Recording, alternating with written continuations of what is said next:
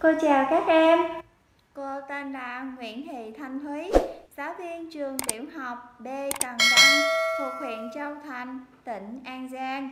Do tình hình dịch bệnh như hiện nay, các em vẫn chưa thể nào đến trường được, nên hôm nay cô sẽ tiếp tục hướng dẫn các em học ở nhà môn tiếng Việt, phần môn tập làm văn.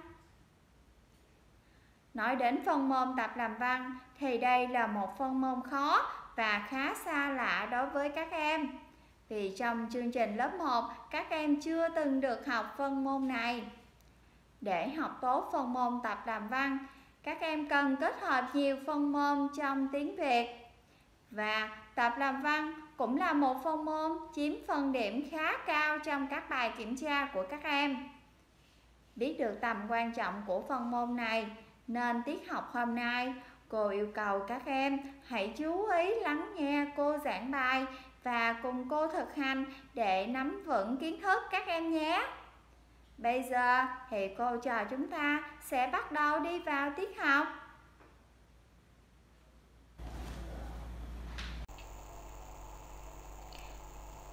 Bài học hôm nay thuộc chủ điểm Em đã lớn hơn.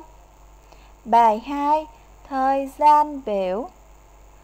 Tập làm văn. Nói viết lời tự giới thiệu. Mục tiêu của tiết học hôm nay sẽ giúp các em bước đầu biết tự giới thiệu về bản thân. Để bắt đầu tiết học, các em hãy chuẩn bị cho cô. Sách giáo khoa tiếng Việt 2 Tập 1 bố chì và vở. Chúng ta bắt đầu tiết học các em nhé. Các em hãy mở sách giáo khoa tiếng Việt 2, tập 1, trang 16 và trang 17. Tiết tập làm văn hôm nay, cô sẽ hướng dẫn các em thực hiện bài tập 6. Bây giờ, các em hãy cùng cô đọc yêu cầu bài tập 6. 6. Nói, viết lời tự giới thiệu. A. Đọc phần tự giới thiệu của bạn Lê Đình Anh và trả lời câu hỏi. Bạn Đình Anh tự giới thiệu những điều gì về mình? Em thích nhất điều gì trong phần tự giới thiệu của bạn Đình Anh? B. Tự giới thiệu về mình với bạn theo gợi ý. Tên em là gì? Em có sở thích gì? Ước mơ của em là gì? C viết 2 đến 3 câu về nội dung em đã nói. Đó là toàn bộ yêu cầu của bài tập 6. Ở bài tập 6 này, cô sẽ chia thành 3 hoạt động. Hoạt động thứ nhất, chúng ta sẽ cùng nhau đi phân tích mẫu, đó là phần tự giới thiệu của bạn Lê Đình Anh. Hoạt động thứ hai, chúng ta sẽ thực hành nói lời tự giới thiệu về mình. Và hoạt động thứ ba đó là thực hành viết lời giới thiệu. Bây giờ các em sẽ cùng cô tìm hiểu từng hoạt động.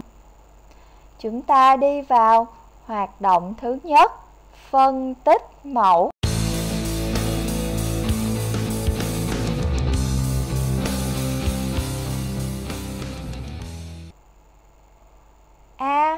Đọc phần tự giới thiệu của bạn Lê Đình Anh và trả lời câu hỏi.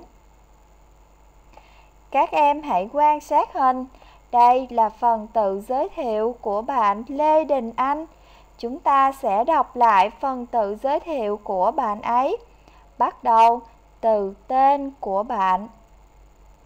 Tên Lê Đình Anh Tên thân mật Bin học vẽ, thích nuôi chó, thích bóng đá, ước mơ trở thành cầu thủ bóng đá. Sau khi đã đọc xong phần tự giới thiệu của bạn Lê Đình Anh, các em hãy cho cô biết. Bạn Đình Anh tự giới thiệu những gì về mình? À, bạn Đình Anh giới thiệu tên, tên thân mật, sở thích và ước mơ. Các em hãy cho cô biết tiếp. Em thích nhất điều gì trong phần tự giới thiệu của bạn Đình Anh?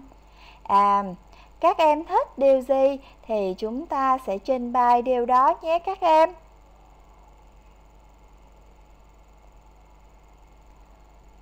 Cô ví dụ, em thích nhất phần giới thiệu tên thân mật của bạn Đình Anh vì tên thân mật của bạn là Bin, rất dễ thương.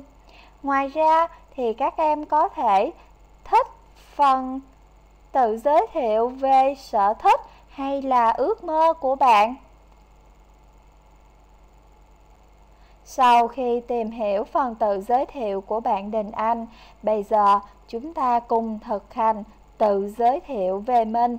Chúng ta sang hoạt động 2.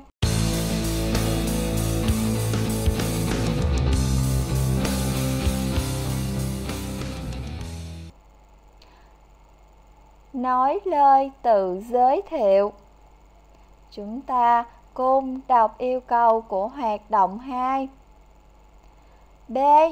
Tự giới thiệu về mình với bạn theo gợi ý. Cô có 3 gợi ý. Tên em là gì? Em có sở thích gì? Ước mơ của em là gì?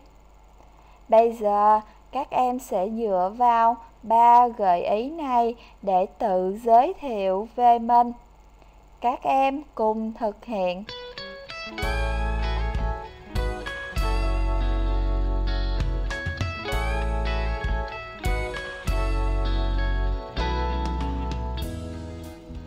Cô ví dụ, em tên là gì?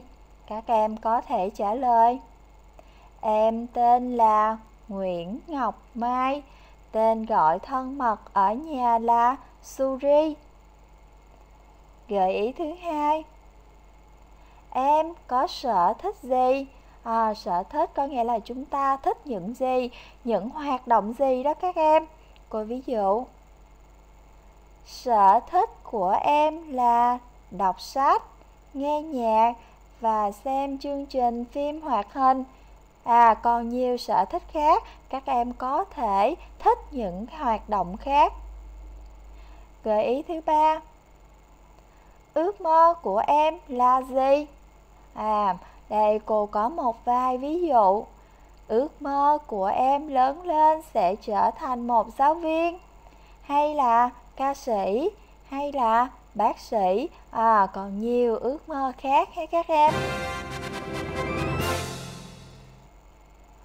Cô đã hướng dẫn các em nói phần tự giới thiệu về mình theo ba gợi ý. Bây giờ chúng ta sẽ thực hành viết lời tự giới thiệu của chúng ta vừa nói. Chúng ta sang hoạt động 3.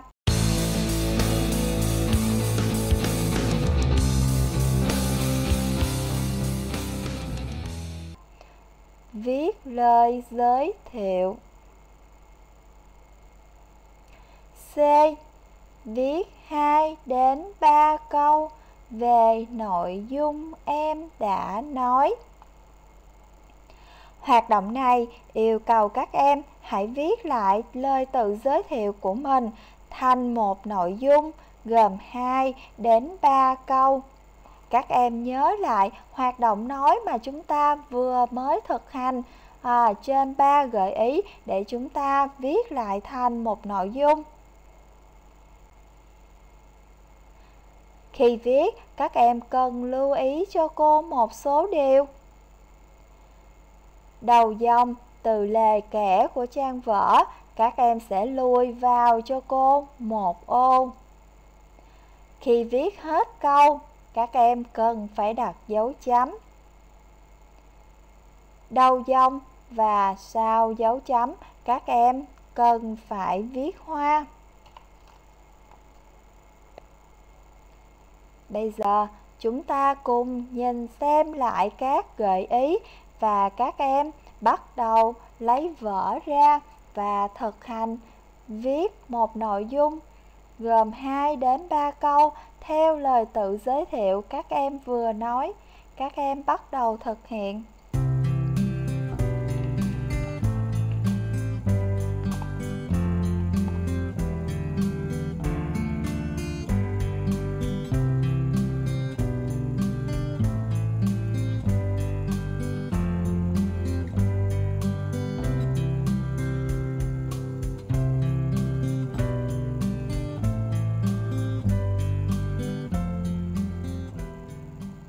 Sau đây, cô sẽ có một bài mẫu. Từ lê kẻ của trang vở, các em sẽ lùi vào cho cô một ô. Sau đó các em bắt đầu viết đoạn văn. Đầu câu, các em cần phải viết hoa. Các em sẽ viết. Dựa vào gợi ý thứ nhất, các em viết Em tên là Nguyễn Ngọc Mai, tên gọi thân mật ở nhà là Suri. Đến đây đã kết thúc một câu nên chúng ta cần đặt dấu chấm. Và sau dấu chấm thì chúng ta cần phải viết hoa. Chúng ta sẽ viết tiếp Sở thích của em là đọc sách, nghe nhạc, và xem chương trình phim hoạt hình. À, đến đây đã kết thúc một câu rồi nên cô sẽ đặt dấu chấm. Và từ sau dấu chấm chúng ta cần phải viết hoa. Chúng ta sẽ dựa vào gợi ý cuối cùng. Đó là ước mơ. Ước mơ của em sau này lớn lên sẽ trở thành giáo viên giống mẹ em cuối câu rồi nên chúng ta cần đặt dấu chấm để kết thúc bài viết của chúng ta. Đây là đoạn văn để các em tham khảo. Các em cần giới thiệu về mình nên tên thì phải là tên của mình và mỗi em sẽ có những sở thích khác nhau, những ước mơ khác nhau à, nên bài viết của các em à, sẽ có thể không phải giống cô. Các em hãy bấm dừng ở đoạn bài viết này để xem lại bài tham khảo của cô à, và có thể thực hiện bài viết của mình hoàn chỉnh hơn.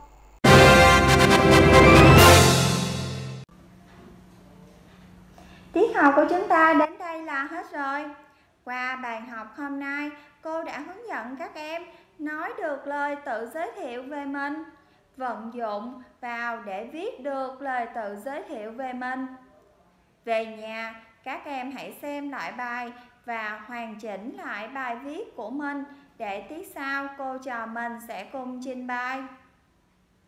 Để chuẩn bị tốt cho những tiết học sau, các em hãy xem trước cho cô bài Ngày hôm qua đâu rồi? Do tình hình dịch bệnh diễn biến phức tạp như hiện nay, các em vẫn phải học ở nhà nên các em hãy thường xuyên theo dõi những bài giảng của giáo viên để kiến thức của chúng ta không bị gián đoạn các em nhé. Cô chào các em và hẹn gặp lại các em ở những tiết học sau.